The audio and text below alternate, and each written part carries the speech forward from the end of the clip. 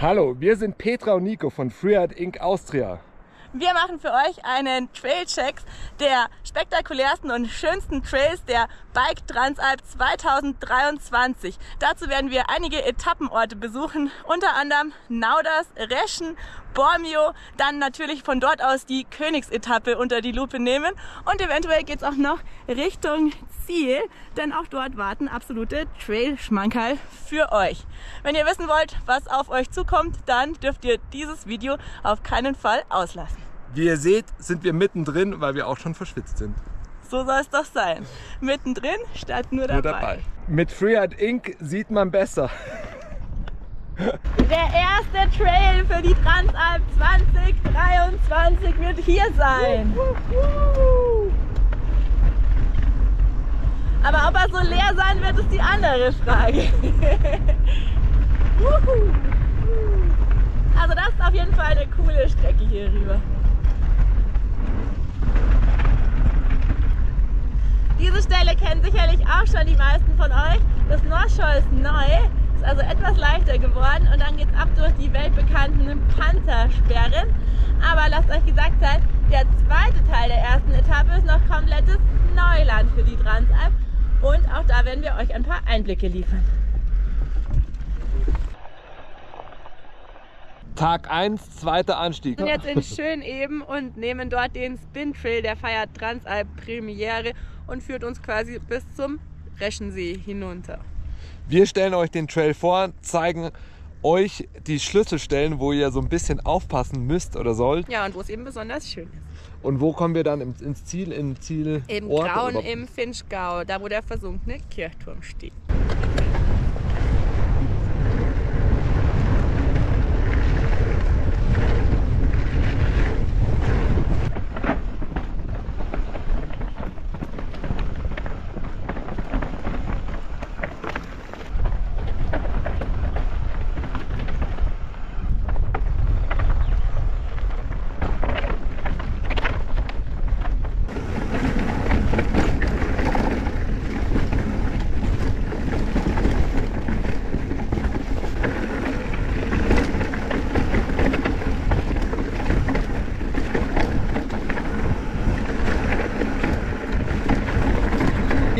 Am Ziel nach 2209 Höhenmetern.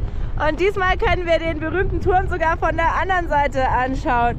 Grund sind Arbeiten am Reschensee. Verrückt. Also diesmal keine Folge des Klimawandels. Auch wenn man das auf den ersten Blick eventuell meinen möchte. Eine echte Besonderheit, dass man den jetzt so umrunden kann. Das ging sonst wohl nur noch mit dem Ruderboot. Nun sind wir auf der Strecke von Livigno nach Bormio. Dort erwartet uns ein absolutes weiteres Trail-Highlight, das allerdings hart erkämpft werden muss, denn es geht auf ordentlichen Betonrampen rauf und später sogar in einem Trail Up and Down, wo man ganz schön ins Schnaufen kommt. Aber das vergisst man wirklich, wenn man diese Abfahrt genießen darf. Super flowig, super einfach zu fahren. Also wer die Transalp fährt, der wird's lieben. Yes, und wenn man noch ein bisschen Glück mit dem Wetter hat, dann gibt es auch geiles Panorama. Das seht ihr natürlich auch gleich. Schaut im Hintergrund, das ist der Trail und es ist wirklich flowig, erste Sahne und Naturtrail. Ja, das ist das Allerbeste. Man hat ja am Anfang schon den gebauten Rollercoaster in Livigno und dann, nachdem man eben einiges an Höhenmetern erkämpft hat, geht es auf diesen geilen Naturtrail runter bis nach Bormio. Bleibt dran, es wird super.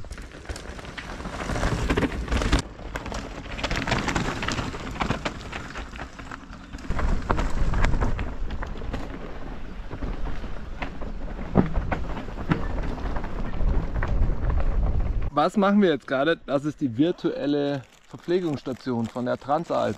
Stimmt. Boah, wie viele Leute hier sind, gell? Krass. Ja, entweder wir sind ganz vorne oder ganz hinten. Eins von beiden. Was da gibt's bei dir? Dann davon träumen. Brotzeit so richtig mit polnischer. Nebenbei ja auch ein bisschen interessant die Auffahrt. Also man hat echt Rampen und dann wieder Verschnaufpause, Rampe. Aber das wirklich bei gutem Panorama. Also selbst wenn er ein bisschen leidet, ist es irgendwie schon okay. Hier gibt es dann eine Abkühlung, extra für die Transalp installiert, der Bach. Mega Panorama im Hintergrund. Yeah! Wow!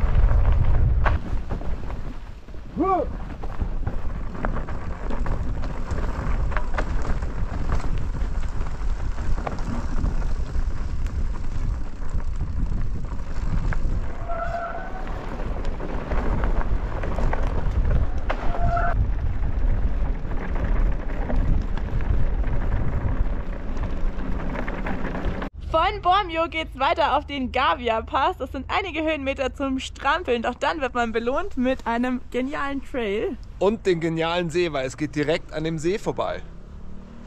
Wow, und den Trail zeigen wir euch als nächstes.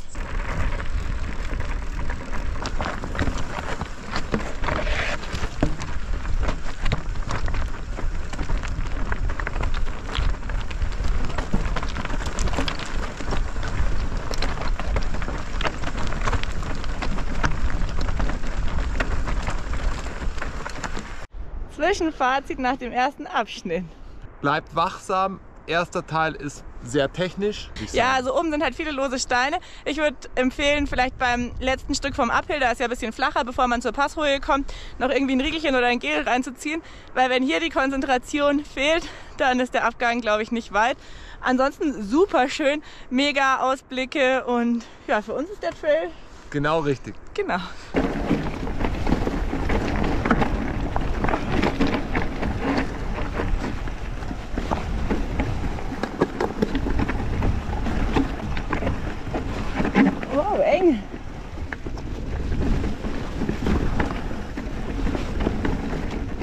Ein kleiner Blick von oben lässt den Trail etwas einfacher wirken, aber ihr seht schon, wie langsam wir unterwegs sind und dennoch ist es einfach nur wunder wunderschön.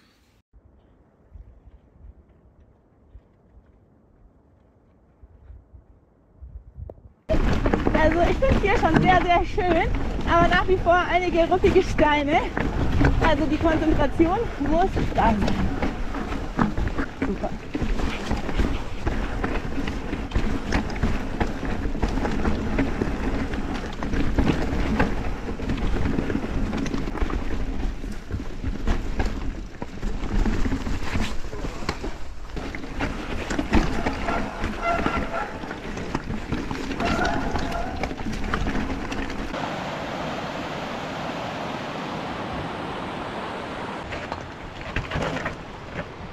Yeah.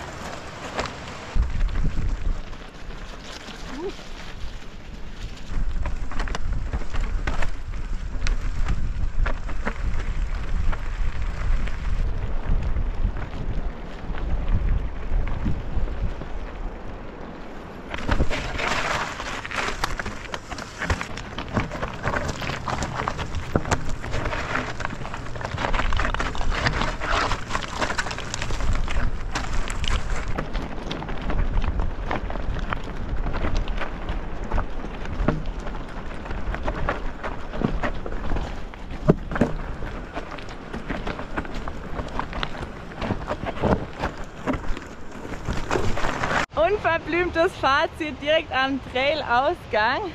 Was sagst du? Ja, also technisch und fahrbar, ein paar Schiebepassagen, schöne Aussicht. Fahrt es. Ich finde es mega, ich finde es wirklich mega. Ich finde es auch cool bei einer Transalp, aber wirklich ähm, macht da keine Stunts. Ankommen ist das Ziel und wenn man mal ein, zwei Sachen schiebt oder auch drei, vier, dann ist es halt so.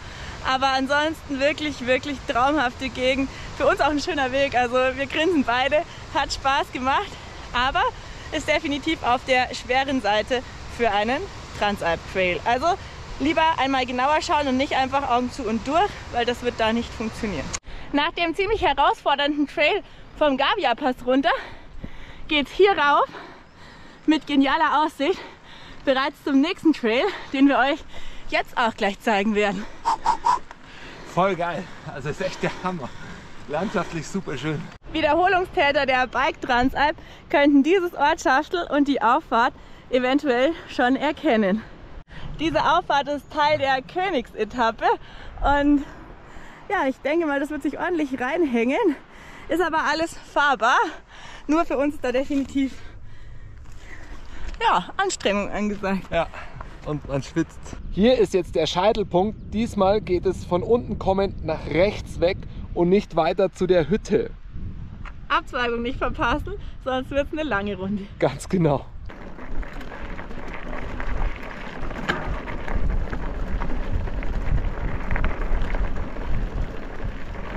Wir sind jetzt am zweiten Trail der Königsetappe und der ist ein wenig flowiger, würde ich sagen, oder? Ja, bisher super flowig.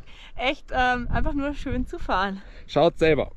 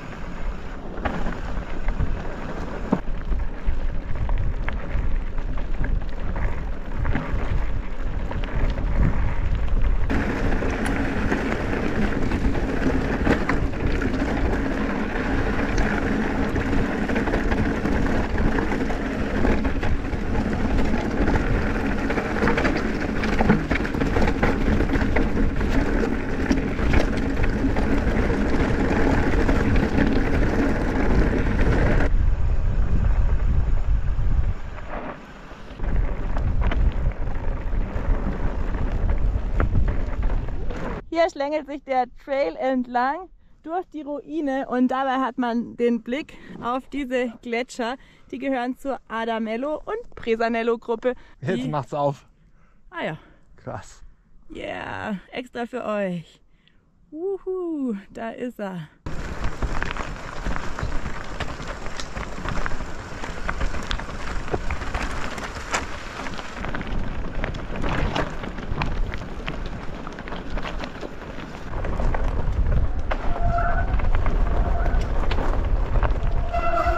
Das war unser Transalp Trail Check für euch. Diese Wege und noch viel mehr weitere Highlights erwarten euch bei der heurigen Bike Transalp 2023, die 25. Jubiläumsedition und damit nochmal etwas ganz, ganz Besonderes. Trailreicher denn je, ich würde fast sagen schöner denn je. Und jetzt hoffen wir noch auf gutes Wetter und hoffen, den ein oder anderen von euch dort wiederzutreffen. Die Woche kann kommen und sie wird der Hammer, weil es wird schönes Wetter, schönes Wetter und kein Regen. Und mega Trails, wie ihr ja jetzt schon wisst.